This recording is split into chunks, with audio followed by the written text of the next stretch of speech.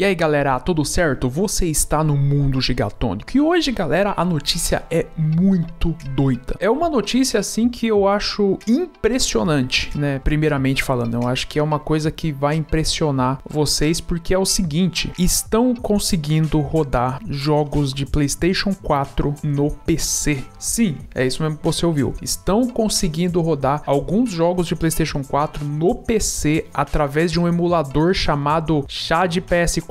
Eu não sei se é assim que pronuncia, tá, galera? Imagino que seja, mas acho que é assim, né, galera? E aparentemente é um emulador aí que tá avançando um pouco rápido. Eu acho muito louco, tá, galera? Esse lance de console moderno ser emulado, sabe? É uma coisa que não entra na minha mente. É um negócio meio louco, sabe? Porque o PS4 ele é um console moderno, na minha opinião, né? Eu sei que ele é um console que já passou, né? A gente tá na era do PlayStation 5, ele já tem mais de 10 anos. Só que para mim, eu não sei, mano, ele é muito recente ainda para ser emulado. Mas não sei, cara, eu não sei o que pensar sobre isso. Para mim é uma parada meio nova, porque quando a gente pensa em emulação, a gente pensa em consoles tipo de pelo menos duas gerações atrás. Por exemplo, eu acho louco o PS3 está sendo emulado, né? Mas o PlayStation 4, não sei. Eu sei que sempre tem, né? Tipo, lance de emular consoles modernos. Isso sempre teve, mas sempre fica algo meio que no começo ali. Mas não sei, o tempo tá passando rápido também. E esse emulador chá de PS4, ele teoricamente tá no começo ainda. Só que olha só. Vocês sabem que muita gente quer o Bloodborne no PC, né, galera? Tanta gente falando pra caramba que gostaria de um remaster do Bloodborne pra PC. Galera enche o saco da Sony bastante por causa disso, porque a Sony lançou vários jogos pra PC exclusivo dela, né? E o Bloodborne é o jogo mais solicitado pra PC, é o jogo que a galera quer. A galera, eu tenho certeza que trocaria alguns jogos aí que foram lançados pra PC da Sony pelo Bloodborne. É um dos mais desejados e é um que vai vender muito. Já falei várias vezes aqui, né? Sony fica aí fazendo outros ports, mas o que a galera quer mesmo é o Bloodborne. E aí, essa galera do de PS4, há um ano atrás conseguiu fazer um boot do Bloodborne, só que era só uma tela preta, era um negócio inicial assim e tal. Mas já foi notícia por um tempo, porque jogos grandiosos assim, eles não conseguiam fazer nem boot, pelo que saiu aí nos sites de notícia. E aí, esse negócio de Bloodborne para PC é tão falado, mas tão falado, né, galera, que o pessoal continuou desenvolvendo, continuou trabalhando, ver se conseguia avançar nesse Bloodborne aí, e simplesmente conseguiram abrir e rodar o Bloodborne no PC. Sim, galera, o Bloodborne está rolando no emulador de PS4 para PC e eu vou deixar rodando de fundo aí para vocês verem. Olha só que negócio simplesmente impressionante. Vocês podem ver que obviamente, né, tá faltando algumas texturas, mas tem uns lugares assim que já tá mais detalhado, né, tá com mais texturas e tal. E galera, é um negócio de bugar a mente ver o Bloodborne rodando no PC, inclusive com frame rate alto, né? Porque ali tá rodando a mais de 100 frames por segundo, tipo, batendo 120 frames, que negócio surreal. Mas enfim, tá faltando muitas texturas ainda, né? Você pode ver que o jogo tá com somente a modelagem 3D em algumas partes, né? E a iluminação. Esse vídeo também ele tá com somente o som ambiente, né? Tipo, não tá com os efeitos sonoros, pelo menos o vídeo, né? Eu não sei se já tem os efeitos sonoros, mas enfim. E aí ele mostra ele avançando por várias áreas do Bloodborne, né? E aí fica um negócio que às vezes fica clareando, né? Às vezes fica caindo e às vezes fica bom, né? Às vezes fica, parece que as texturas tem hora que dá uma carregada e tal, né? Mas isso aqui é impressionante de você ver rodando, né, galera? É um negócio assim absurdo. Como que você ia esperar que ia rodar pelo menos um pouco no PlayStation 4, né? E ele acessa o menu, o menu tá totalmente funcional. Eu achei um negócio absurdo, cara. E aí, eu não sei se o jogo inteiro já tá possível jogar, né? Mesmo que seja, tipo, somente. Como é que eu posso dizer para vocês? Somente através de alguma trapaça que eles fizeram, né? Se não tem nenhuma parte do jogo que trava, né? Mas aí eles conseguem mostrar bosses bastante avançados. Inclusive, tem um print deles, né? Tem um vídeo deles rodando o Padre Gascoigne e tem um rodando o German. O que, mano, sinceramente, é um negócio muito absurdo, tá ligado? Muito doido. Inclusive, a parte do German, né? Tá certinho, tá ligado? Quase não tem problemas. Eu imagino que eles usaram trapaças mesmo, porque eu tô vendo ali agora no vídeo que eles estão com tudo cheio ali, né? 999, né?